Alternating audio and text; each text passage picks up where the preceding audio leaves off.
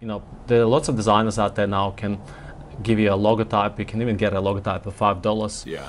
And in a lot of cases, you know, those logotypes sometimes will be decent. You know, sometimes you might get a decent logo for five dollars, uh, and that's because they are, you know, considered from a you know golden ratio perspective, Yeah. or you know, they're well balanced and they're using the, the nice typography and colors and so on. Uh-huh.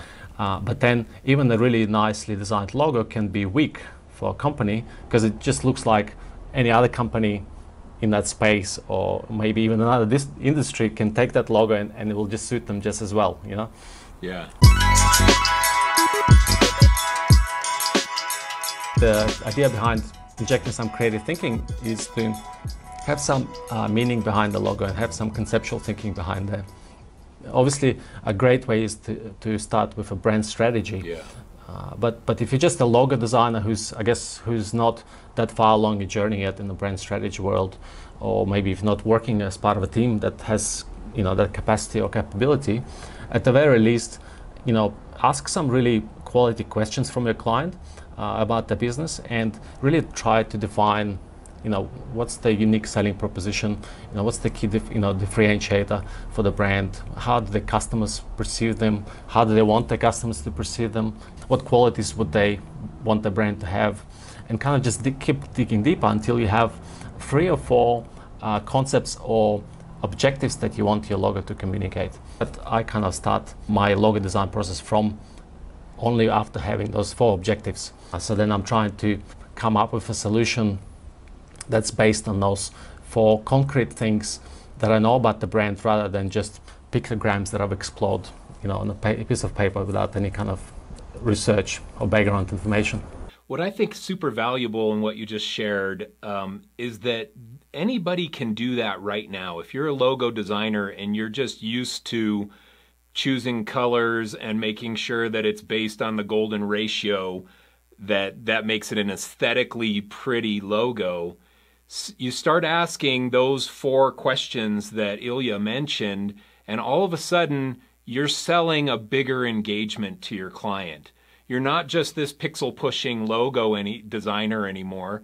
You are selling a more consultative engagement to the client. Yep, And it yep. differentiates you from the $5 logos that are out there.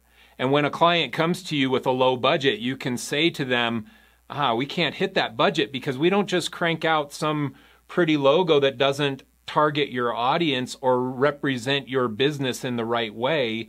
We go through a little bit of a brand strategy process to help identify the right logo that's going to speak to your right audience and represent your business in the right way.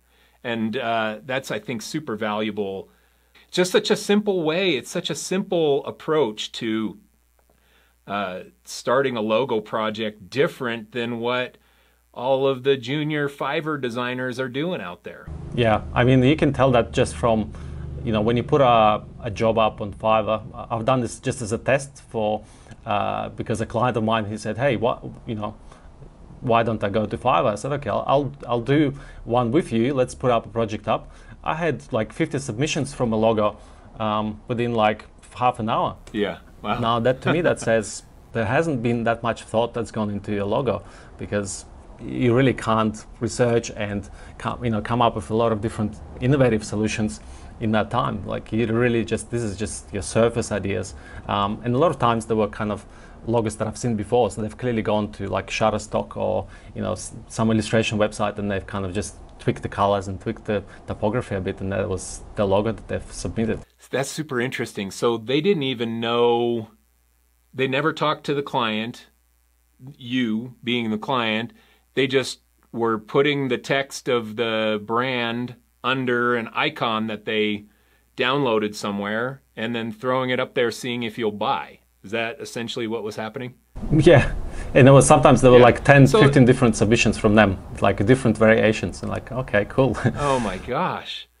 That's crazy. So, yeah, you don't want to compete in this space. You do not want to compete in that space. So, you have to differentiate yourself from those people.